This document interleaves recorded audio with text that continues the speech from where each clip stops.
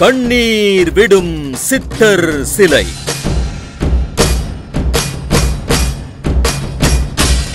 இயற்கை விதிகளை மாற்றிய மர்மம்.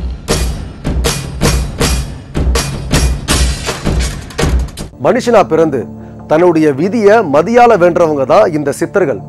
அது மட்டும் இல்லாம தன்னுடைய அற்புத ஆற்றல்களை இந்த மக்களுக்காக கொடுத்துட்டு போனவங்க சித்தர்கள். இப்படி சித்தர்கள் வாழ்ந்து மறைந்த இடத்துல இன்னமும் அதிர்வுகள் அதிகமா இருந்துகிட்டு தான் இருக்கு. அந்த வகையில இப்போ நம்ம பார்க்க போறது இடைக்காடர் சித்தர்.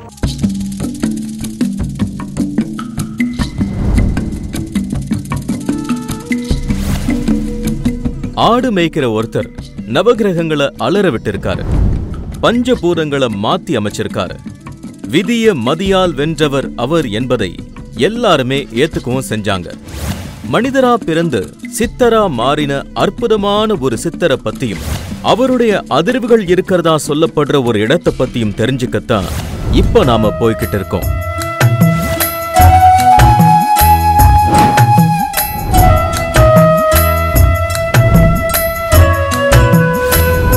திருவண்ணாமலை. சித்தர்களோட சொர்க்க பூமி. இறைவனை தேடும் ஆன்மாக்கள் எல்லாமே இந்த மலை சிவனை நினைச்சாலே முக்தின்னு சொல்றதால இங்க வந்து இறை நினைப்போட வாழ்ந்தவங்க பலரும் அற்புதங்களை அடைஞ்சிருக்காங்க.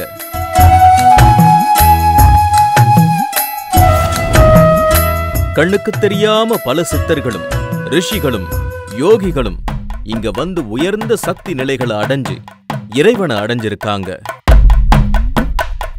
ஆனா நிறைய சித்தர்கள் தங்களை இந்த மண்ணை விட்டு அகலாம பார்த்துக்கிட்டே இங்க தன்னோட வேலைகளை எல்லாம் செஞ்சுக்கிட்டே இருக்காங்க.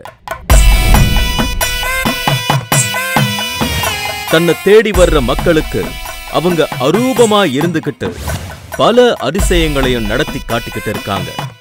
அதுக்கு உதாரணம் தான் இடைக்காடு. சாதாரண ஆடு மேய்க்கிற மனிதரா இருந்தவர் கல்வி அறிவு இல்லாதவர்னு சொல்றாங்க. ஆனா ஆழ்ந்த ஞானம் இவருக்குள்ள இருந்திருக்கு. அந்த இடைக்காடர். திருவண்ணாமலையில ஜீவ சமாதி ஆனதா சொல்றாங்க.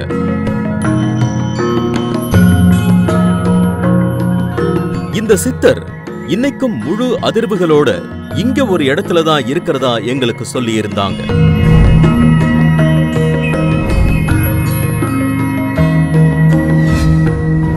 இதுதான் நாங்க கேள்விப்பட்ட அந்த ஆச்சரிய இடம். பதினெட்டு சித்தர்களுக்கும் இங்க தனித்தனியா சிலைகள் அமைச்சிருக்காங்க.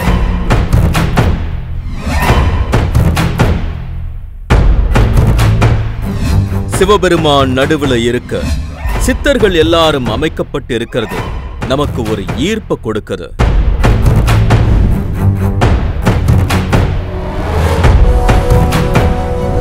இடைக்காடருக்கு இங்கே தனியே பெரிய சிலை அமைச்சிருந்தாங்க. இந்த குடில கோவிந்தராஜ் நிர்வகிச்சிட்டு வராரு.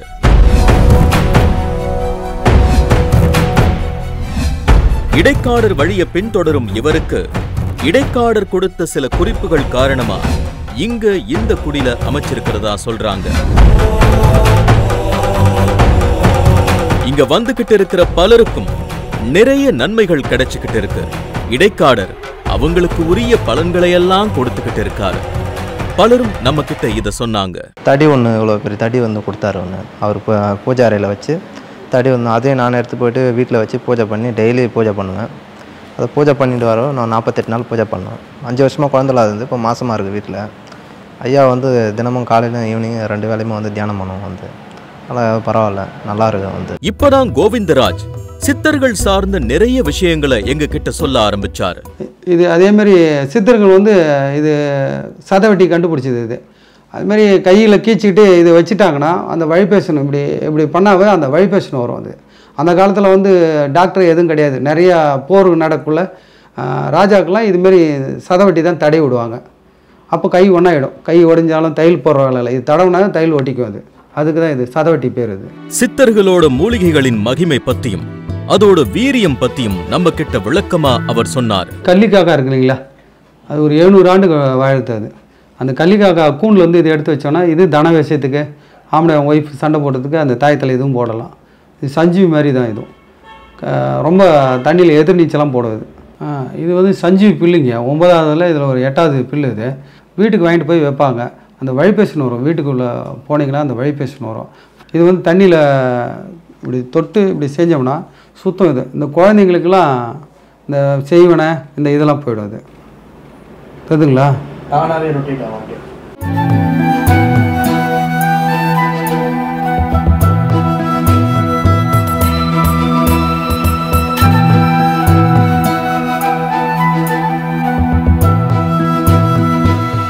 சித்தர்கள் மக்களுடைய நோய்களை போக்குறதுக்காக பல அரிய வகை மூலிகைகளை கண்டுபிடிச்சிருக்காங்க.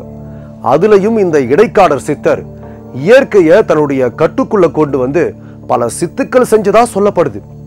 இப்பவும் இதுக்கு சான்றா இடைக்காடருடைய குடில்ல சில சம்பவங்கள் அரங்கேறிக்கிட்டு இருக்கு. இடைக்காடர் முக்காலம் உணர்கிற தன்னோட ஞானத்தால நிறைய அதிசயங்களை செய்திருக்காரு. அதை விட அவர் மழை வர வைத்த அதிசயம் பத்தியும் சொல்றாங்க. இடைக்காடர் வந்து பிறந்தது வந்து மானாமதுரை. இடைக்காடர் ஊர். அங்கே பிறந்து அப்படியே மா மதுரை வந்து பருவதமலை கொல்லிமலை ஏரிக்குப்பம் இங்கெல்லாம் போயிட்டு ஆடு மாடு மேய்க்கிறார். அப்போ போகர் வந்து கப்பல் மூலிமா அனுப்புறதுக்கு சீனாவுக்கு அனுப்புகிறார் இடைக்காடு நாடுன்ட்டு ஈசார் ரோட்டில் ம மகாபலிபுரம் ரூட்டில் இருக்குது. இடைக்காடு நாடுன்ட்டு. அங்கே கப்பல் மூலிமா அனுப்புகிறார் சீனாவுக்கு. அப்புறம் திருப்பி வராரு அவர் வந்து போகர் வந்து நீங்கள் ஜீவசமாதி திருவண்ணாமலை தான் ஆகணுன்ட்டு அனுப்பிடுறாரு. இங்கே வந்து ஆடு மாடு மேய்ச்சிக்கிட்டு உச்சியில் வந்து அள்ளிக்கு அள்ளிக்கோக்கன்னு உட்காந்துருக்கார் தியானம் பண்ணிக்கிட்டு. நின்றுக்கிட்டு காலை வந்து நிற்கின வச்சு தியானம் பண்ணுவார். அப்போ வந்து நவகிரகம் வந்து மேலே போகிறவங்க பார்க்குறாங்க இவங்க மட்டும் ஆடு மாடுலாம் இவங்களுக்கு மட்டும் பசியர்னு இருக்குது அப்படின்ட்டு இவங்ககிட்ட வராங்க. அப்போ வரக்குள்ளே இவர்கிட்ட இருக்கிற ஆட்டுப்பால் சட்டி ஒரு சட்டியில் ஆட்டுப்பாலும் ஒன்று கேழ்வருக்கு சாப்பாடு அதை கொடுக்குறாரு. அந்த மழக்கத்தில் அவர் கீழே படுத்துடுறாங்க அப்போ இவர் நாணதிச்சுட்டு கிரகத்தை மாற்றி அமைக்கிறார். அப்போ வந்து பஞ்சம் போகுது. இடைக்காட்டர் வந்து பஞ்சம் போக்குகிறார். மழை காற்று எல்லாமே. அப்போ எல்லாமே ஊர் எல்லாம் பெசேர்னு ஆகிடுது எழுநூறு ஆண்டுக்கு பஞ்சாங்கம் எழுதி வச்சுட்டு போயிருக்கார். இப்படியெல்லாம் நடந்ததா அவர் சொல்லிக்கிட்டு இருக்கும்போது இங்கேயும் இன்னைக்கும் இடைக்காடர் முழு வீச்சோட இருக்கிறதுக்கு உதாரணமான ஒரு நிகழ்வை பத்தி எங்களுக்கு சொல்லி மேலும் அதிர்ச்சியை உண்டு பண்ணினாங்க. இங்க இருக்கிற சித்தர் சிலைக்கு அபிஷேகம் செய்யும் போது அந்த அதிசயம் நடக்கும்னு எங்களுக்கு சொல்லி எங்களை பார்க்க சொன்னாங்க.